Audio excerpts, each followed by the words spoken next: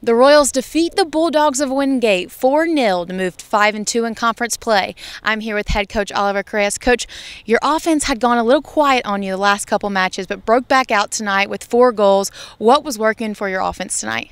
No, I think that uh, in the last couple games we did score, but not as many as we usually score. Uh, we scored one last game and two the uh, game before, but well, it's going to be dangerous. We, we create a lot of chances. I think that uh, today our whole team came uh, just you know ready to play and bounce from uh, those two tough results that we had. And I, I, think our movement of the ball was perfect.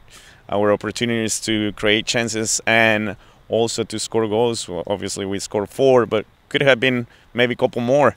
Uh, very proud on the performance, but most importantly, our uh, style of play is always good. And getting to see the boys uh, playing where uh, we created a lot of chances, that's always a positive. Speaking of your offense, Edmundo Robinson on the board first for you guys tonight has five goals over the last seven matches. What kind of impact has he made on this team this year?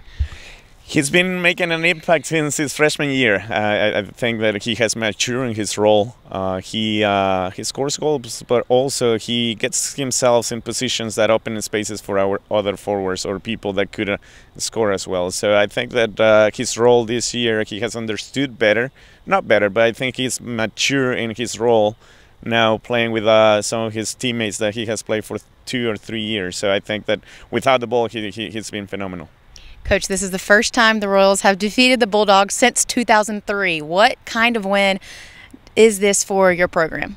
No, it's exciting. Uh, we we were just uh, I known uh, the coach for a while. He he's, he's one of the uh, most successful coaches in the country. So he's a great mentor to me, and uh, we always battle. We always battle, but it's been uh, just like what you say, it's been a couple of years since we've been able to uh, be successful. So we're, we're happy with the result and happy to go five and two in conference and excited for Saturday.